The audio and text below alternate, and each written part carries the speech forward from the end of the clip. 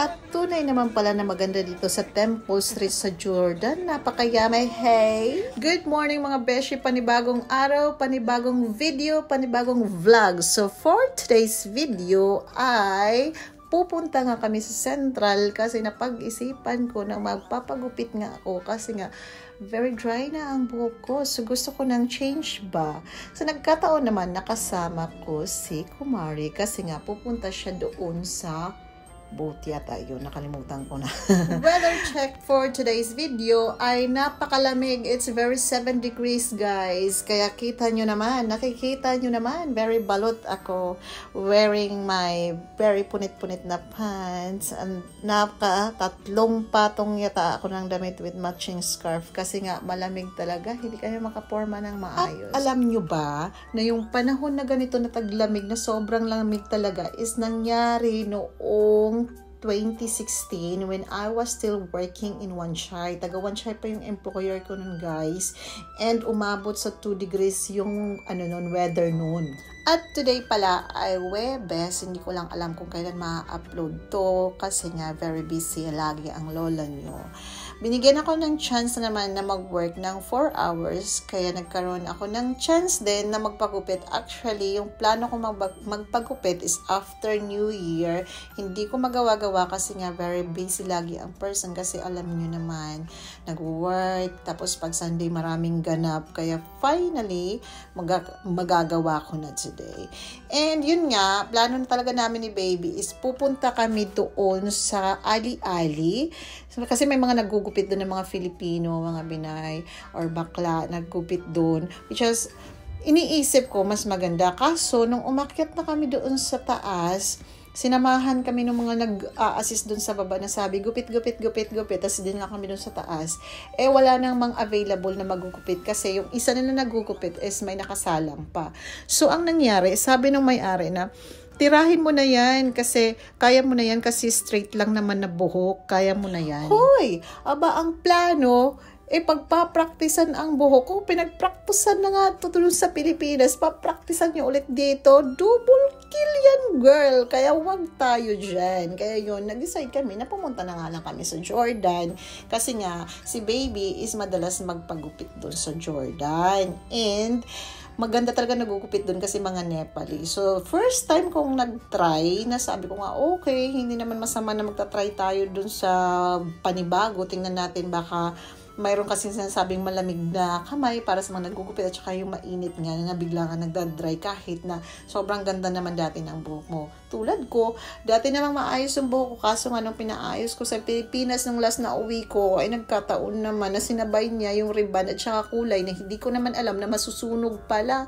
Kaya ganyan ang nangyari sa buhok ko as in naging very dry siya and one year ko siyang pinahaba kasi umaasa pa rin ako na magiging maayos siya. Well, sad to say, hindi talaga talaga siya umayos, kaya no choice, kailangan nating ipaputol. At saka fresh start na rin para sa 2024, charot, may mairason lang. Well, katulad nyo ng kasabihan, di ba, na parang huwag kang matakot na ikat yung mga tao katulad ng pagkat mo sa buhok mo. Yung kumbaga, kung hindi na healthy, kung toxic na, then cut people. Just like you cut your hair. Charot! Uy, sinong agree sa akin dyan? Di ba tama naman na kung hindi na masaya, o tama na, oops na, hanggang dyan na lang. So, moving forward, ganyan nga kahaba ang naputol sa buhok ko.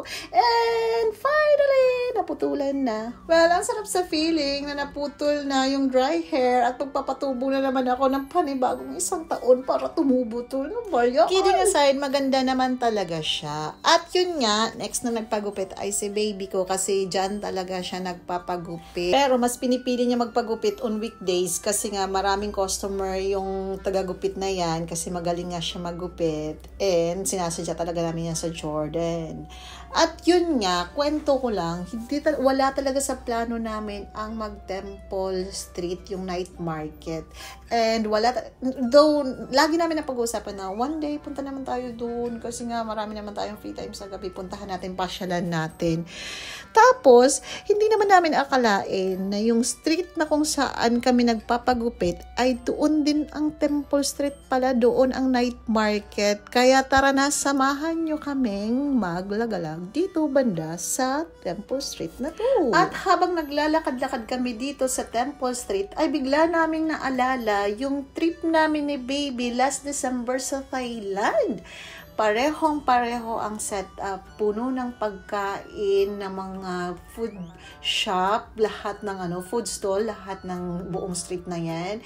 And mamili ka lang. May western food, Chinese food, Indian food, lahat nandito. May mga drinks, marami kang pagpipilian and hindi ka talaga mamuboard. Sa presyo naman is halos same lang siya. So, wag ka mag-expect na mas mura siya dyan. Same price or even higher pa yung price niya kaysa sa usual na presyo ng mga pagkain na matatagpuan mo sa ibang lugar. I think lugar. the reason naman why there are lots of tourists coming to visit Temple Street ay nandito na nga yung iba't ibang klase ng pagkain, kumbaga one stop in the go kasi nandito rin yung mga pangpasalubong na mga damit.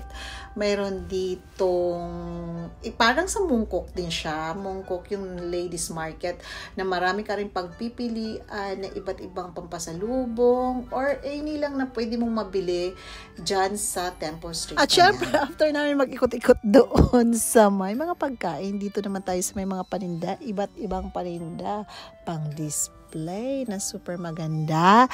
And may mga pampasalubong na pambata, pang matanda, pang masahe, at marami pang iba. Siyempre, hindi naman nagpahuli ang aking baby. Kay may nakita naman siya dyan na ano, na medyas ng Batman kasi super fan siya ng Batman ba. Kaya ayun, yung tuwa niya abot hanggang kabilang kanto. Uy, ginoo ko. So, nagpabili siya ng dalawa. Binilahan ko, natuwa siya. So, that's all for today's video, guys. See you in my next vlog.